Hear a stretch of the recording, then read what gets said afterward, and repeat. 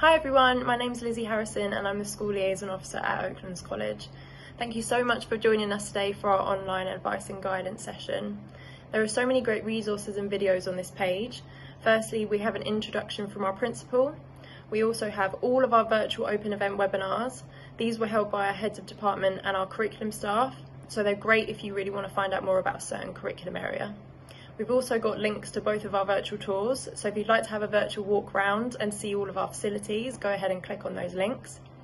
We've also got more information about careers, employability and student support from Reese and Emily. Most importantly, if you've got any questions at all, our admissions and our advice and guidance team will be live on our live chat functionality, which is on the bottom right hand side of your screen, to answer any questions until 6pm tonight. Thank you.